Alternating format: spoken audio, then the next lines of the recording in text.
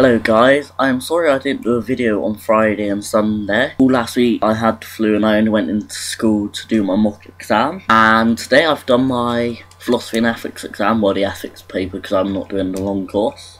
So I won't have any more exams until June. Today I am going to be announcing the winner of 10 minute challenge, house building. And the winner is, dun dun dun, Shady Turbo, who had two votes to one.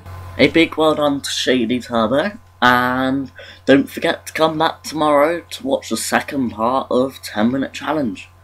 We will be building something that got suggested to us in the comments. So, thanks for watching, and I hope to see you soon.